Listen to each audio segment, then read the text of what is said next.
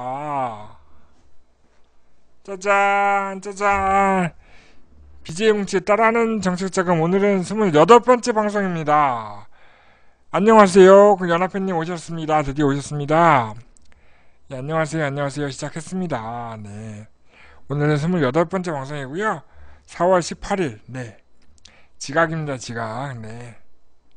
빨리 인사만 하나 끝내려고 했는데 칼같이 오셨네 사실 제가 7시 잠깐 미팅 있어갖고 보라매 공원 쪽에 잠깐 나갔다 왔어요 나가서 미팅하고 커피 한 잔 마시고 후다닥 들어와가지고 방송 세팅하고 허겁지겁 방송을 합니다 네 이게 방송의 미, 재미 아니겠습니까? 네. 제가 아니고 이제 시작하면 됩니다 네. 첫 번째 순서는요 첫 번째 순서는 뉴스 브리핑입니다 오늘 첫 번째 뉴스 네 첫 번째 뉴스가 무엇일까요? 첫 번째 뉴스 무엇일까요? 네, 아, 늦은 식사 하셨군요. 네. 떡볶이 장사가 아주 잘 되시나봐요. 이제 저녁을 먹고, 네.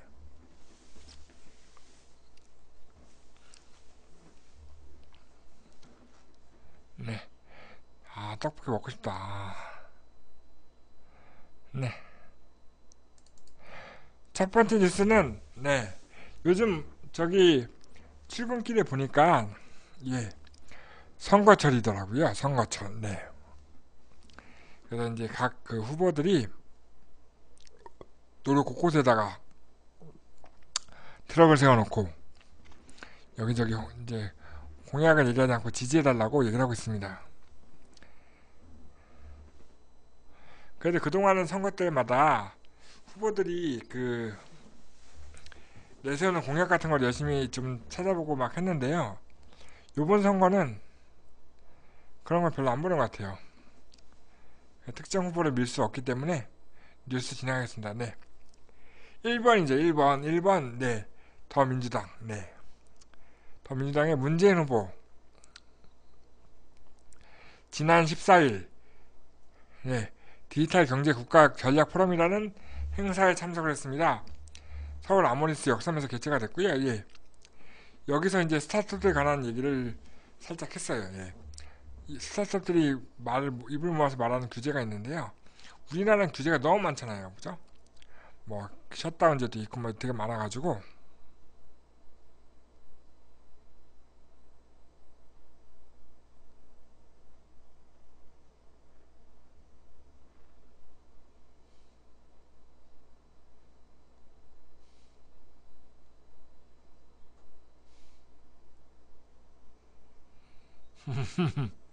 그거 아니고요. 예. 말씀했던 내용 중에서 정리 좀 해보니까 그동안의 규제가 포지티브였다면 이제는 네거티브로 바꿔서 법에서 원천적으로 금지했던 것 외에는 자유롭게 할수록 바꾸는 것이 필요하다고 얘기를 하셨네요. 네. 맞습니다. 이런 게 필요합니다. 무조건 안 된다고만 되어 있어서 참고로 저는 저기 정당인입니다. 정당인입니다. 1번입니다. 1번. 네. 그래서 이제 우리 문 후보님께서는 게임을 마치 마약처럼 보내는 듯한 부정적인 인식과 편견이 없어졌는데 정부가 열줘야 한다고 생각한답니다 합니다. 그래서 그 우리나라 그 게임을 그 맡고 있는 여러 가지 규제들을 풀어주자고 합니다. 네. 그 안양 비산동이죠. 비산동. 예. 비산동은 네 안쳤었죠. 예 안쳤을 거예요. 왜냐면 비산동은 좀 들깨 있어요 동네가. 들깨 있어서. 원래 비산동이 전 그 옛날부터 보수잖아요 보수. 예.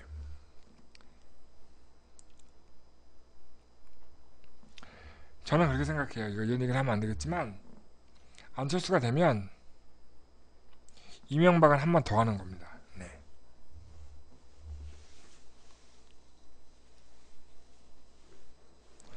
그래서 이제 그리고 또 무슨 얘기가 났냐면요. 오늘 제가 특별히 우리 문 후보님의 말씀을 두 페이지를 만들었어요. 그래서 우리가 인터넷 발전하, 네. 제가 하면 안 되는 얘기를 안 할 거예요. 예. 괜찮아요. 괜찮아요. 괜찮아요.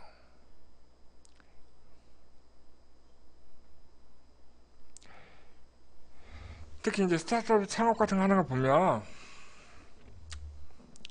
실리콘밸리에서는요 창업하고 실패하고 창업하고 실패하고 이런 걸 계속 반복하면서 이제 성공하는 음, 성공자가 나오고 있는데 우리나라는요 창업했다 실패하면 끝이에요 끝. 끝 끝이 납니다. 왜냐면 정부 자금이 그 연대보증으로 해서 받게 돼 있어서 사업 창업했다 실패하면 죄다 망해요. 예, 그래서 사실 그 주변에 그 창업 한두 번 해보신 분들 보면 신용 상태 좋으신 분이 하나도 없잖아요. 그죠? 등급이 다 안 좋아요. 저도 사업을 했기 때문에 등급이 좋진 않아요. 예. 그래서 문 후보님의 이런 뭐 제도적 문턱을 낮추겠다는 말 그리고 액티브엑스 같은 규제 같은 거를 철폐하겠다는 멘트는 굉장히 저는 환영하는 멘트입니다. 네. 네. 첫 번째 뉴스였고요. 우리 모두 투표 열심히 합시다. 네. 다음 뉴스는요. 서울시가 중소기업의 예비 창업자 R&D 기술 개발에 39억을 지원한답니다. 맞아. 안철수가 다 예전에 했던 건데 했으면 뭐합니까? 안철수 말만 하잖아. 말만. 안철수는 말만 하죠. 네. 서울시가 지난해 조사했던 서울형 R&D 지원 사업 실태 조사를 했는데요. 거기에 따르면 기업들은 기업의 사업화가 중단된 주요 원인으로 시장 요구 기술의 변화가 됐다. 아이템의 사업성 부족 등을 꼽은 바가 있습니다. 그래서 이런 문제를 해결하기 위해서 서울시와 서울산업진흥원에서 R&D 시행 전 기술 제품 서비스의 시장성 검증을 보강한 기술 상용화 지원 사업을 시작한다고 합니다. 와. 서울시에서 서울시에서 기술 상용화 지원 사업을 한답니다.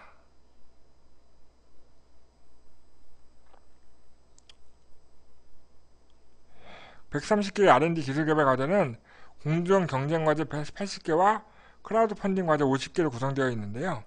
한 과제당 최대 3천만 원의 개발 비용이 지원된답니다. 네. 기술 상용화를 위한 자, 금 지원은 자금은 인건비와 시작품, 시제품 제작, 성능, 신뢰성 시험, 소비자 평가와 인증 등의 직접비로 사용할 수 있답니다. 와, 우리 전문위원들들 다 알아봐야 할 것 같은데요. 서울시에서 진행하는 서울시, 서울형 R&D 지원 사업. 네. 공부할 게 많아지네요. 네. 한 번 더 살펴보겠습니다. 네. 다음 뉴스는요. 인천 TP, TP가 뭐죠? 테크노파크, 테크노파크입니다. 인천 테크노파크는 사드 피해, 사드 피해 특별 경영 안정 자금을 긴급 수혈합니다. 벌써 이런 유사한 뉴스가 많이 나왔죠, 벌써. 사드, 사드 피해로 인해서 경영이 어려워진 회사들을 위해서 경영 안정 자금이 나오고 있죠. 네. 피해를 봤다고 생각하는 업체들은 피해를 봤다고 생각하는 업체들은 한번 그 연락을 해보시면 좋을 것 같아요. 인천 테크노파크 자금 지원팀으로 문의하면 자세한 안내를 받을 수 있다고 합니다. 네. 다음 뉴스는요. 울산의 조선업 관련한 기업체들 융합 alliance 구축 운영 사업을 추진하는 울산 조선업. 네. 울산시와 울산 테크노파크 여기도 테크노파크네요. 그죠? 울산시와 울산 테크노파크는 조선업 관련한 기업 울산에 조선업이 많잖아요. 그죠? 울산시와 울산 테크노파크는 조선업 관련된 기업의 업종 전환 및 사업 다각화를 위해서 네. 울산이 그 조선업이 많이 힘들잖아요. 졸려서 졸려서 조선업 관련 기업의 업종을 전환시켜 주는데 도움을 준다고 합니다. 그래서 2017년 조선 밀집 지역의 융합 alliance 구축 운영 사업을 추진한다고 합니다. 네. 그래서 이래서 울산 조선업 희망센터 창업존 내에 현장 지원단을 운영한다고 합니다. 그래서 상주 인력을 두 명을 배치해서 중소기업의 중, 조선 중소기업의 금융, 정책자금 등 인력 등의 종합 프로그램을 분석해서 제공하는 역할을 수행한다고 합니다. 울산이라서 울산하면 현대자동차잖아요. 그죠? 울산 친환경 자동차, 친환경 자동차, 친환경 에너지 플랜트, 화학신소재, 아 그랬나요? 예, 맞아 일정표에 있더라고요. 예.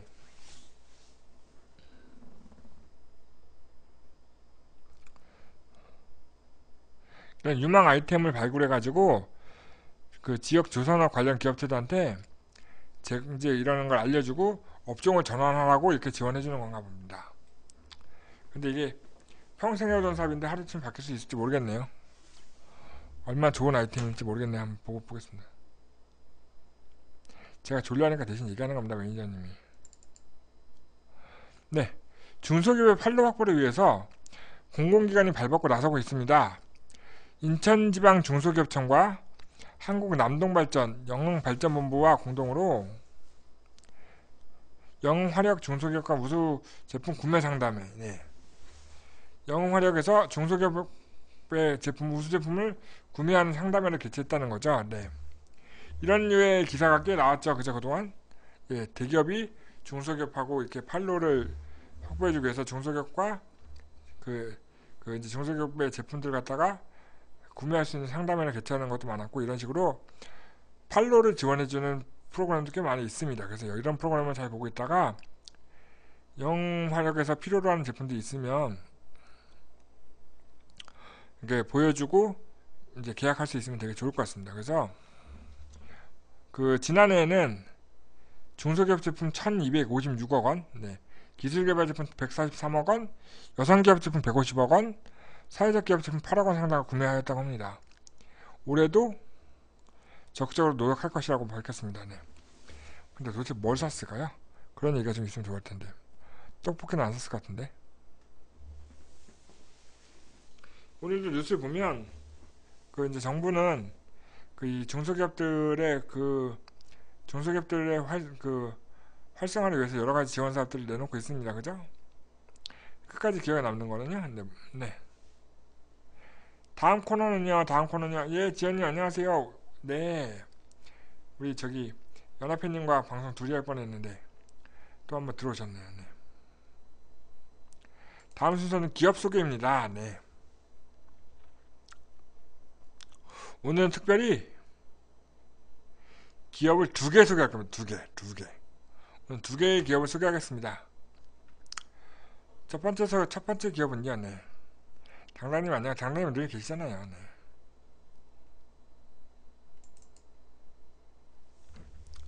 첫 번째 소개할 업체는요, 어디야라는 서비스입니다. 어디야. 위치 기반 소통 서비스입니다. 예. 소통을 하는 서비스인 걸로 봐서 뭐 커뮤니티나 SNS 같은 거네 SNS 그죠? 근데 그거를 위치 기반으로 하는 겁니다. 그 예를 들면 제가 있는 곳과 근처에 있는 사람들과 얘기를 할 수 있는 거죠. 이런 걸 할 수 있겠네요. 그럼 제가 지금 가산에 있잖아요. 가산. 가산 제가 지금 가산디지털 단지에 있습니다. 이 근처에서 가장 맛있는 집은 어디입니까? 라는 걸 누가 물어보면 누가 대답할 수 있겠죠. 아니면 이 근처에 우체국이 어디 있나요? 이런 거 물어볼 수 있는 거죠. 그런 그런 소통을 할 수 있는 걸 도와주는데 기반이 위치 기반입니다. 위치 기반. 근데 위치가 되게 광범위하잖아요. 근데 보면 여기 그림 보시면 아시겠지만 굉장히 격자형으로 세분화되어 있어요. 예. 설명을 좀 드려보면 이런 겁니다. 인포시드라는 회사고요. 인포시드라는 회사고요. 인포시드라는 회사가 론칭한 서비스고요. 국내 모든 지역, 국내 모든 지역을 10m 단위로 10m 단위, 10m 단위 41억 개 격자로 나누어서 엄청 세분화했네요, 그죠? 엄청 세분화해가지고 각 격자마다 41억 개 격자마다 고유의 위치 서비스 이름을 붙여놨답니다. 그래서 강, 바다, 산 등 야외 지역뿐만 아니라 복잡한 도심의 골목까지도 그 이름을 부여해놨대요. 그래서 그것도 이름을 한글 세 단어로 해놨나봐요. 부여해놓고 공사위원님 안녕하세요. 네. 네. 이름만 부여한 게 아니고 IoT 산업, 오토 배송, car sharing, 콜택시, 물류 시스템, 재난신고 등 위치를 기반한 다양한 산업과의 연결이 가능한 서비스를 준비한다고 대표님은 말하고 계시네요. 참고로 이 서비스는요. 안드로이드 폰에서 활동하는 앱이고요. 구글 플레이에서 다운로드 하시면 됩니다. 서비스명은 어디야입니다. 제가 굉장히 재밌는 서비스 같아서 다운로드를 받아보려고 했으나 제가 아이폰 사용자라서 다운로드 못 받아봤습니다. 안드로이드 폰 사용자 하시면 한번 설치해서 해보세요. 그래서 이런 거죠. 비산시장에서 이 근처에서 가장 맛있는 떡볶이집은 어딥니까? 네. 이 근처에서 제일 맛있는 떡볶이집은 어딥니까? 전 아이폰이라고요. 저는 설치 못해요. 설치해 보세요. 네. 그래서 제가 못 보여드려서 옵션 하나 더 준비했습니다. 두 번째 업체는요. 부르다입니다. 부르다. 부르다. 네. 뮤지션이 직접 콘서트를 여는 뮤지션을 부르다. 네. 보시면 아시겠지만 가수가 직접 콘서트를 여는 겁니다. 그동안의 콘서트라는 거는 가수가 있는 소속사나 이런 행사 기획하는 기획사에서 콘서트를 개최하고 거기 가수를 초대해가지고 페이 주고 이제 가수 노래를 시키는 거잖아요. 그러다 보니 가수가 노래하고 싶을 때 제때 제때 못하는 것 같아요. 그래서 그런 것도 좀 쉽게 하기 위해서 이제 부르다라는 서비스를 오픈했습니다. 볼게요. 예. 콘서트 기획 플랫폼입니다. 말씀드린 것처럼 뮤지션이 예, 가수가 직접 장소와 날짜를 지정해서 콘서트를 열 수 있는 뮤지션을 부르다라는 서비스입니다. 뮤지션을 부르다는 콘서트를 열기를 원하는 뮤지션이 직접 부르다 콘서트를 부르다 콘서트 내에서 공연이 가능한 장소와 날짜와 시간을 선택해서 콘서트를 확정하기 위해서 티켓을 먼저 판매하는 겁니다. 크라우드 펀딩처럼 펀딩 티켓이죠. 펀딩 티켓. 콘서트를 개최하니까 티켓을 미리 판매하는 거예요. 그래서 미리 판매하면 뭐가 되죠? 몇 명이 올 것인지 알고 있기 때문에 준비하기가 더 편하겠죠. 예. 미리 예매를 하는 거예요. 미리 예매를 해서 아 티켓이 이만큼 팔렸으니까 내가 가서 공연하면 되겠다. 예를 들어서 제가 이제 가수인데 콘서트 하고 싶어서 홍대 어디 길거리를 갔다가 제가 선택해가지고 제가 여기서 이번 주 토요일날 그 콘서트 하겠습니다 하고 올렸는데 아무도 안 사. 아무도 안 사면 거기가 살 필요 없잖아요. 그죠? 인수가 안 차면 공연은 펑크, 펑크낼 수가 있는 게 아니고 이제 크라우드 펀딩 같은 거 해보시면 아시겠지만 목표 금액 있죠. 목표 금액. 그죠? 목표 금액이 도달해야지만 진행한다. 이런 조건을 걸 수 있겠죠? 예, 조건이 안 되면 못할 수 있는 거죠. 반대로 이런 것도 있죠. 예를 들어서 절대 우리 동네는 가수가 안 올 것 같아. 내가 꼭 부르고 싶은 가수가 있어. 비산동에 있는 두스떡볶이 앞에서 그 소녀시대가 공연을 했으면 좋겠어. 그러면 이제 거기다가 공연 콘서트를 기획을 해놓고 티켓을 판매하고 뭐 거기에 뭐 10만 명이 모일 수는 없겠지만 예를 들어서 많은 사람들이 모인다라는 가정이 되면 가수가 가지 않겠습니까? 이런 식으로 할 수 있는 것도 가능하겠죠. 예전에 제가 사실 이런 류의 서비스를 한번 준비해 본 적이 있어요. 근데 저는 이제 글로벌로 이제 그 동남아에 있는 팬들이 많이 모이면 티켓을 미리 구입을 해서 많이 모이면 한국에 있는 가수 직접 데려가서 거기서 콘서트 해주는 그런 류의 크라우드 펀딩과 그 이제 콘서트 연계해서 팬미팅 서비스 해보려고 애를 썼으나 사드 때문에 다 물 건너갔죠.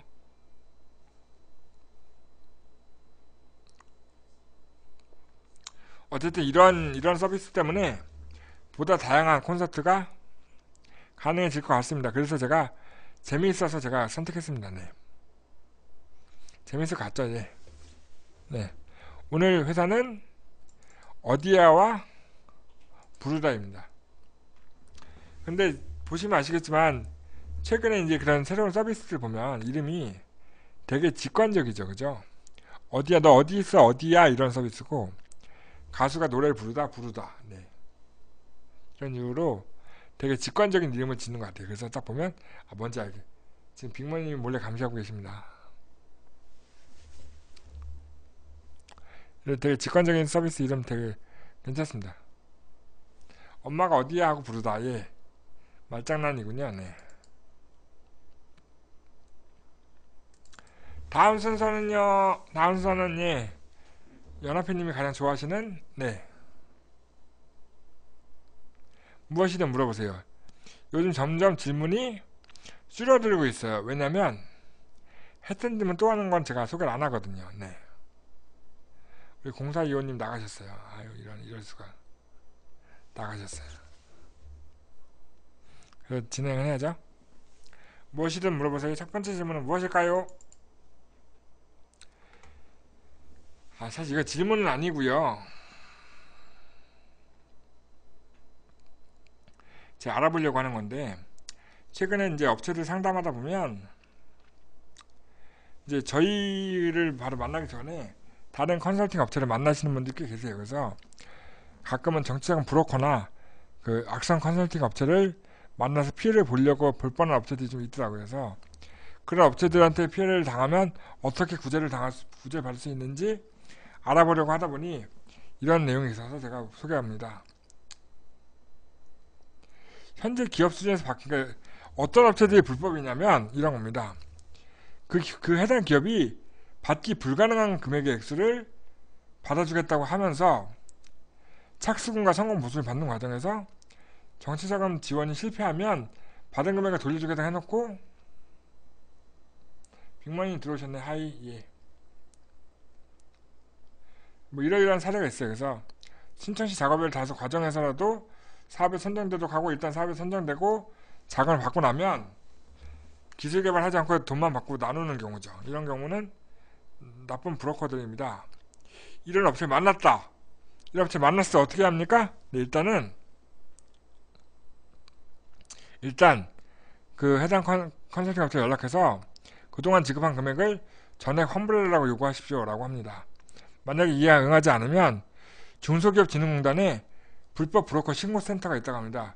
중소기업진흥공단 불법 브로커 신고센터에 고발하겠다고 강력한 의지를 표현하라고 그러니까 고발한다고 얘기를 하라는 거죠. 그리고 그래도 안 돌려주면 실제 신고를 하면 됩니다라고 구제 방안이 올라와 있더라고요. 네. 신고를 하면 됩니다. 네. 그래서 신고할 수 있도록 이렇게 하시면 된다고 합니다. 그래서 요거 요 내용이 우리 정신미 카페에 올라와 있습니다. 그래서 업체분들이 보시고 그 불법 컨설팅 업체들한테 피해를 당하는 일이 없었으면 좋겠습니다. 다음 Q&A는요. 벤처기업 확인 후 이노비즈 인증에 관한 질문입니다. 얼마 전에 벤처기업을 확인했답니다. 이거 혹시 보신 분 계신지 모르겠는데 이거는요. 이 벤처기업 확인 작업을 빅머리님이 진행해 주셨대요. 빅머리님께서. 얼마 전에 박성일 전문위원님을 통해서 벤처기업을 진행했는데요. 이제 슬슬 이노비즈를 준비할까 합니다 라고 질문 오셨어요. 벤처기업 확인하고 이노비즈를 할 때 인증기간에 따라서 할인이 있다던데요. 그 기간은 언제까지인지 알고 싶대요. 그래서 답변이 올라왔죠.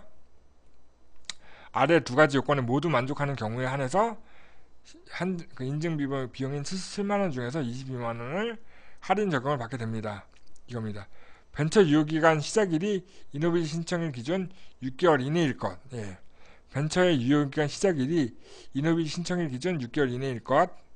그리고 벤처 유형 중 기술 보증 기금 평가는 기술 보증 기업일 것. 예, 기보에서 평가하는 예.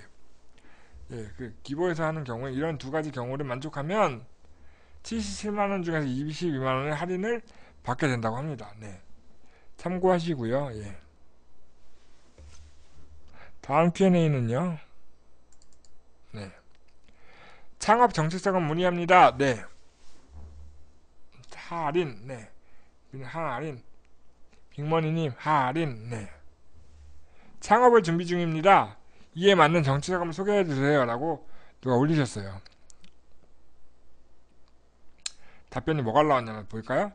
창업 단계의 창업 지원 자금은 크게 창업 전 지원 자금과 창업 후 그러니까 창업 초기, 창업 초기에 창업 초기의 지원 자금으로 구분할 수 있습니다.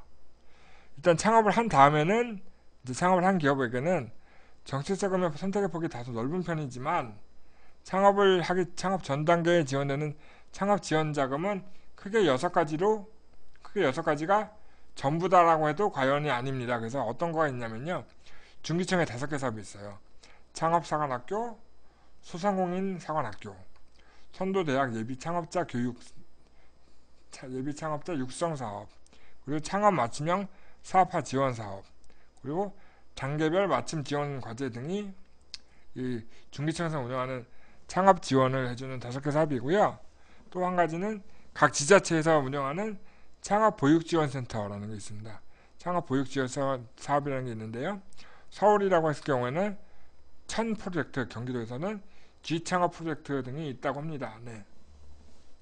창업을 준비하시는 분들이 많이 참여했으면 좋겠습니다. 그래서 제가 아시는 분들 이번에 얼마 전에 창업사관학교에 들어갔대요. 예.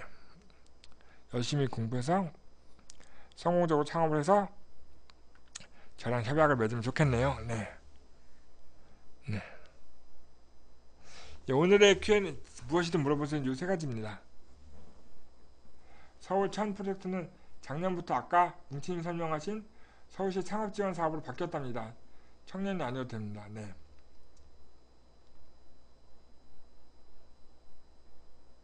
아, 아까 아까 제가 뉴스에서 얘기했던 거, 네. 뉴스 브리핑에서 했던 거 이건가 보다. 이제 안 합니다. 네, 빅머니님 안 한대요. 네.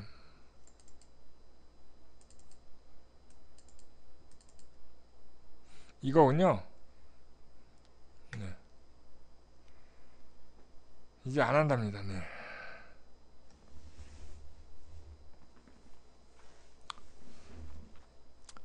서울시권 안, 천 프로젝트는 안 한다고 하고요. 앞에서 중기청의 다섯 개 사업 참고하시면 될 것 같습니다. 네. 창업사관학교, 소상공인사관학교, 선도대학 예비 창업자 교육 육성 사업 이게 시리즈 세 개가 더 있답니다. 예. 자, 우리 빅머니님과 BJ 뭉치님께서 매니저님이 지금 싸고 있습니다. 크리에이티브 고고라고 합니다. 네. 누가 이길까요? 뭐 이기고 지게 어딨습니까? 나중에 확인해 가겠네요. 어쨌든 서, 그 지, 서울 천 프로젝트는 없나 봐요. 뭐 다른 거 있나 봅니다. 네. 하여튼 중요한 건 중기청 다섯 개 사업을 활용하시면 좋을 것 같습니다. 네. 다른 거는 그때그때 확인해 보면 되겠죠. 저희가 한 번 더 확인해 볼게요. 다음 주 방송에 제가 한 번 더 확인하겠습니다. 네. 네. 다음 순서는요. 벌써 나왔었는데 왜 안 나왔을까요? 뭐가 나왔을까요? 짜잔! 네. 막간 홍보입니다. 제가 오늘 기업 소개를 두 개 하다 보니까 홍보가 좀 뒤로 밀렸어요. 네. 저희 큐피타컴에서 향수 판매하고 있는 걸 아시죠? 베네, 베, 베네티엔느 eau de 퍼프 아 이름 너무 어려워 아. 향수 팔고 있습니다 향수 이 향수가 팔리면 BJ 뭉치한테 도움이 됩니다 네 많이 많이 사주세요 예. 인터넷 최저가입니다 인터넷 최저가 예. 인터넷 최저가 판매하고 있습니다 네 제일 싸요 예.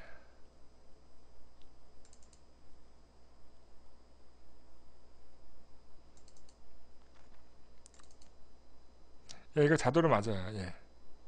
세 번째 거는 크리스찬 디올 자도로, 자도라고 합니다. 자도로가 뭔지도 모릅니다. 이 자도로, 세 번째 거 자도로 맞고요. 두 번째 거는 디플로메이트, 네. 첫 번째 거는 베네티네 eau de parfum, 이세 가지 종류 판매하고 있습니다. 큐피타컴에서 세 가지 종류 중에 하나 선택해서 사시면 됩니다. 네. 자, 마지막 순서입니다. 마지막 순서. 벌써 30분이 후딱 지나갔어요. 네.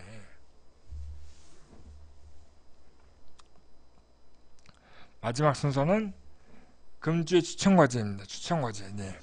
추천과제 두 가지 소개해 드릴게요. 네.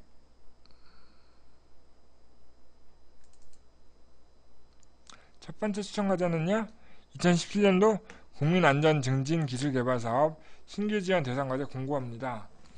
아, 이거 너무 어려워. 우리 제가 이거 하다 보니까 과제명이 너무 어려워. 너무 어려워. 예.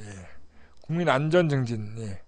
국민의 안전을 증진시키는 기술을 개발하는 사업을 하는데 필요한 업체들을 신규 지원을 한다고 합니다. 이 쭉 읽어보시면 아시겠지만 지정공모와 자유공모가 있는데요.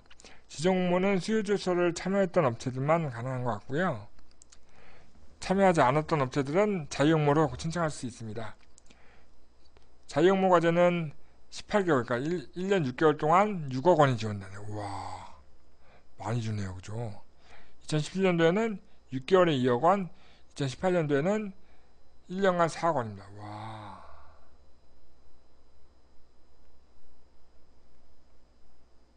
모레까지인가요?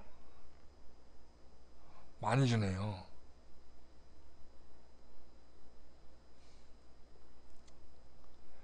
5월 1일까지만 시간이 있네요. 네. 국민의 생명을 직접적으로 보호해주는 안전 서비스를 고도함으로써 국민의 안, 안전을 직간접적으로 확보해주는 기술을 만들면 됩니다. 범죄 예방 기술, 소방 안전 기술, 해양 안전 및 구조 군화 조난 기술 이런 것들 할 수 있죠. 예. 이런 류의 기술을 가지고 있는 업체들은 하면 좋을 것 같네요. 네. 안타까운 회사가 하나 있죠. 저한테도. 네. 그 이제 이런 구조 조난 기술 갖고 있는 업체가 하나 있는데, 그죠? 옷에다가 GPS 달아가지고 하는 업체가 있는데, 그 업체는 응모를 안 할 것 같아요. 아, 안타깝네요. 6억 원짜리인데. 하여튼 이런 과제가 하나 있고요. 두 번째 추천 과제는요. 예. 그럴 수 있을 것 같아요. 세월호 관계가 있는 과제라서.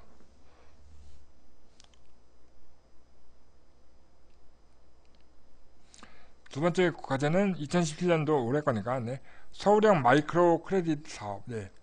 일명 저소득층 창업 지원 사업입니다. 네. 대, 이제 대출 사업이고요. 이제 대상은 이렇습니다. 사업장 또는 창업 희망지가 서울 소재여야 하고요. 만 20세 이상인 사람 중에서 소득금액 증명상의 소득금액이 3천만원 이내인 사람들 근로소득 원천징수 영수증상의 소득금액이 3천만원 이내인 사람들 국민연금 보험료 납부 확인서 및 소득 환산 기준이 뭐 약 22만 5천원 이내인 경우 그러니까 한 3천만원 이내의 소득을 얻는 사람들이죠 그죠 연소득 3천만 원이 안 되는 사람들이 창업할 수 있게 도와주는 마이크로 크레딧 사업입니다 네 그리고 또 한부모 가정 예. 막나이가 만 18세 이하인 미성년자인 경우 가정만 되고요. 다둥이 가족, 예.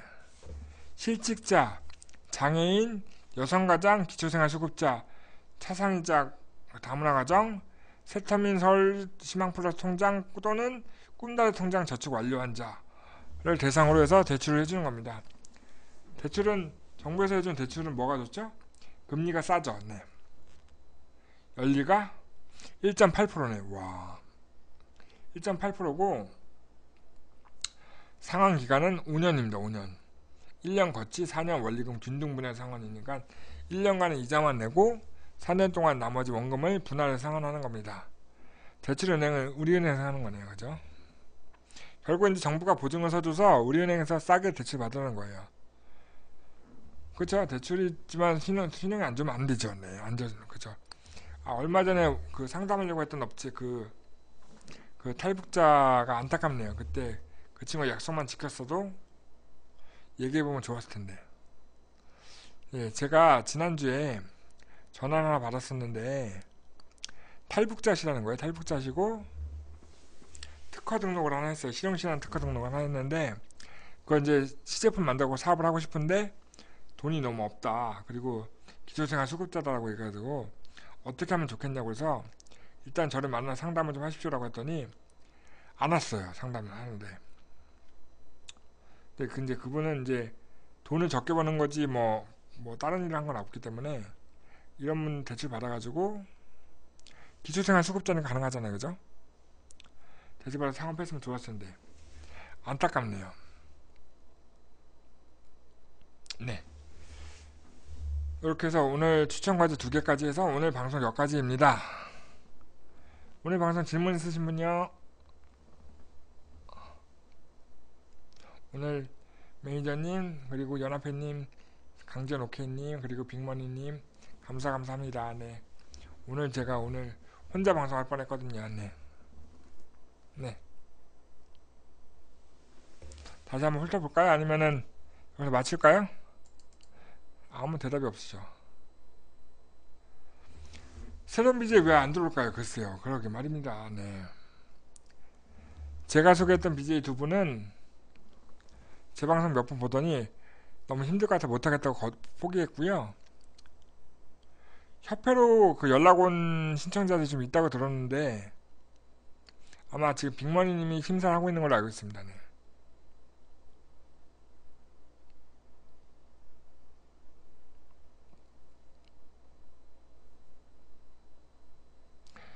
제가 정리를 다시 하면 처음부터 방송을 다시 하는 거거든요. 그래서 오늘 여기까지. 네. 질문 없으시면 여기서 마칠게요. 네. 네, 오늘 좀 피곤해서요. 예. 질문 딱 3개 받고 끝내겠습니다. 네. 한번 다시 보여드릴게요. 그럼 정리는 해야지, 그래도. 오랜만에 오신 분이 했, 요청하셨으니까. 네, 뉴스는요, 문재인 후보가, 문재인 후보가 그 제도전 창업하시는 분들 제도전 연합회, 제도전, 제도전 연합회가 아니지, 제도전 문턱을 낮추고 액티비스를 철폐하는 등의 약간 이제 그, 그 좀, 그 문턱을 낮추는 규제 개혁을 하겠다는 얘기를 했다는 것과 그리고 서울시가 예비 창업자 R&D 기술개발 사업에 39억 지원한다는 얘기 그리고 인천 테크노파크에서 사드 피해 특별 경영 안정 자금을 수혈한다는 얘기 그리고 울산에서 주- 울산 조선업 관련해서 융합 alliance 구축 운영 사업을 실시한다는 얘기 그리고 중소기업 판로 확보를 위해서 공공연히 발벗고 나서고 있다는 얘기. 그리고 제가 기업 소개 두 군데 있죠. 그 위치 기반 소통 서비스는 어디야라는 예 안드로이드 기반 서비스입니다. 네. 안드로이드 폰을 쓰시는 분 한번 사용해 보세요. 그리고 그리고 뮤지션이 직접 콘서트를 여는 뮤지션의 부르다라는 서비스가 있습니다. 활성화 됐으면 좋겠네요. 그리고 Q&A 되겠죠? 네. 불- 정치자금 불법 브로커를 만나면 중소기업 진흥공단 불법 브로커 신고센터에 신고하십시오. 네. 벤처기업 확인을 인허비 인증할 때는 그 이제 조건에 만족하면 20만 원 할인받을 수 있습니다라는 얘기 그리고 창업 청취자금은 뭐 이렇게 중소기업청에 다섯 개 사업이 있습니다. 그리고 창업을 하고 나서는 선택의 폭이 넓어진다는 얘기를 했고요. 막간으로 향수 세 개 있습니다. 좀 사주세요. 네. 그리고 과제 두 개 추천했습니다. 네. 자, 이상 예, 질문도 없으시면 40분에 마치겠습니다. 아, 네.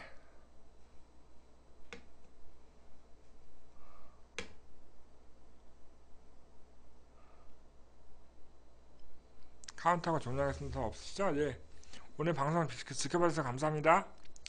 다섯, 넷, 셋, 둘, 하나, 바이바이, 바이바이. 다음 주에요. 다음 주에. 네. 짜잔. 아, 이거, 뭘, 이거 다